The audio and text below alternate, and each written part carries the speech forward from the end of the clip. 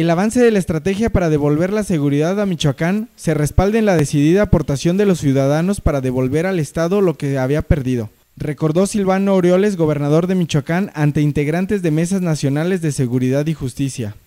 Eh, Estado de Derecho, respeto a la ley y eh, participación de los ciudadanos, respeto a la legalidad, la cultura de la legalidad, que por diversas circunstancias en nuestro Estado tuvo sus altibajos, pero que hoy se refleja un ambiente distinto. Ahorita le mostraba yo a Alejandro Martí las estadísticas de, del mes y es muy satisfactorio ver cómo con el trabajo de todas y de todos se han ido abatiendo los delitos que más laceraban a la sociedad. El gobernador Silvano Orioles dijo que Michoacán avanza en la consolidación de la seguridad y dio cifras. Que hayamos tenido una caída en el secuestro, por ejemplo, de cerca del 93%, que haya una caída en la extorsión del 80% y que haya una caída en el homicidio doloso cerca del 50%, son datos muy significativos. Y poder decirles, espero no dar una cifra equivocada, pero que en noviembre no tengamos ningún secuestro en el Estado